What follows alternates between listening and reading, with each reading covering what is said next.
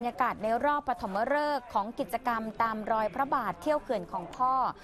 โดยมีสถานีต้นทางจากหัวลำโพงกรุงเทพ และสถานีปลายทางอยู่ที่แหล่งท่องเที่ยว รถไฟลอยน้ำเขื่อนป่าสักชนลสิทธิ์ จังหวัดลบบุรีค่ะ ได้รับความสนใจจากนักท่องเที่ยวมากเป็นประวัติการเลยนะคะ จนต้อง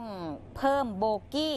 ขณะที่นักท่องเที่ยวบางส่วนยอมที่จะสมัคร ใจตีตั๋วแบบไม่มีที่นั่ง คุณดูบรรยากาศสิ อืมครับ ไม่มีที่นั่งก็น่าจะฟินได้นะคะ เพื่อมายืน เอ่อเพื่อยืนนะคะชมบรรแล้วยากาก็ศชมบรรยากาศครับ นะคะ แล้วก็มีนักท่องเที่ยวอีกจำนวนมากเนี่ยที่เดินทางมาด้วยรถยนต์ส่วนตัว เพื่อมาดักซื้อตั๋วขึ้นรถไฟที่สถานีเขื่อนป่าสักชนลสิทธิ์ เพื่อไปยืนกับขบวนรถไฟนะคะ ไปดูจุดชมวิว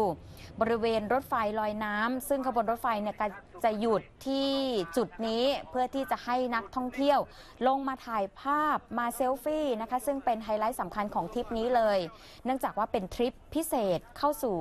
บรรยากาศการท่องเที่ยวแบบวิถีชีวิตชาวเขื่อน และสนุกสนานกับขบวนรถไฟลอยน้ำที่ทอดยาวข้ามไปบนอ่างเก็บน้ำเหนือเขื่อนป่าสักชนลสิทธิ์ซึ่งเป็นประสบการณ์สุดพิเศษของการรถไฟไทยนะคะ